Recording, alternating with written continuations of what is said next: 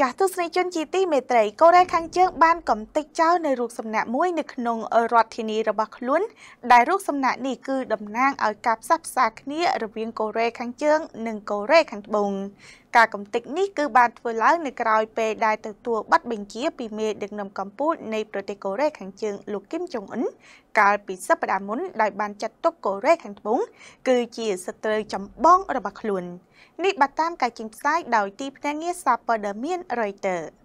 កូរ៉េខាងជើងត្រូវគេរាយការណ៍ថាបានកំទេចចោលរូបសំណាកសំខាន់មួយនៅក្នុងរដ្ឋធានីរបស់ខ្លួនដែលជានិមិត្តរូបនៃគោលដៅសម្រស់សម្រួលគ្នាជាមួយកូរ៉េខាងត្បូងក្រោយការចេញបញ្ជាពីសំណាក់មេដឹកនាំកម្ពុជាលោកគឹមចុងអ៊ុនដែលកាលពីសប្តាហ៍មុនបានហៅកូរ៉េខាងត្បូងថាជាសត្រូវចម្បងនិងបាននិយាយថាការបង្រួបបង្រួមគ្នាគឺលែងមានលទ្ធភាពអាចទៅរួចទៀតហើយនេះបានតាមការចេញផ្សាយដោយទីភ្នាក់ងារព័ត៌មាន Reuters នាថ្ងៃពុធទី24ខែមករាឆ្នាំ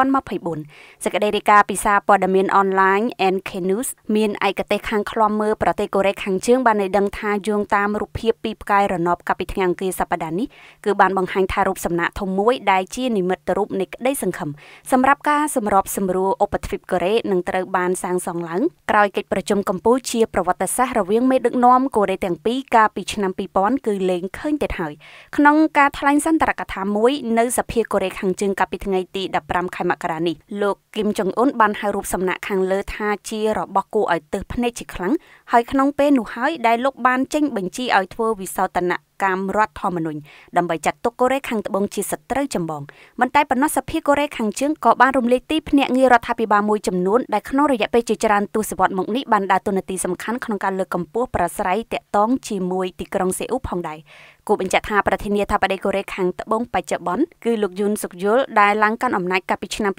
2022បានប្រកាន់គោលចំហររងំប្រឆាំងកូរ៉េខាងជើងដោយបានដាក់បញ្ជាឲ្យមានការឆ្លើយតបធ្ងន់ធ្ងរនិងរហ័សភ្លាមៗចំពោះសកម្មភាពយោធានានារបស់កូរ៉េខាងជើងដែលបានបង្កើនភាពតានតឹងនៅឧបទ្វីបកូរ៉េចំណែកកូរ៉េខាងជើងវិញបានបដិញ្ញាកំទេចកូរ៉េខាងត្បូងប្រសិនបើខ្លួនទទួលរងការវាយប្រហារពីកូរ៉េខាងត្បូងឬសហរដ្ឋអាមេរិកកាលពីចុងឆ្នាំមុនទីក្រុងព្យុងយ៉ាង បានប្រកាសលុបចោលកិច្ចព្រមព្រៀងសំខាន់ខាន់មួយដែលត្រូវបានចុះហត្ថលេខាជាមួយទីក្រុងសេអ៊ូកាលពីឆ្នាំ2018ក្រោមគោលដៅបន្ធូរបន្ថយភាពតានតឹងផ្នែកយោធាកម្មវិធីនេះឧបត្ថម្ភដោយស្រាបៀរកម្ពុជា